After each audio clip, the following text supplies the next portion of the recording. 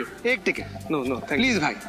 भैया please okay I will take one one ticket one five hundred rupees only five hundred you win okay very good I will give you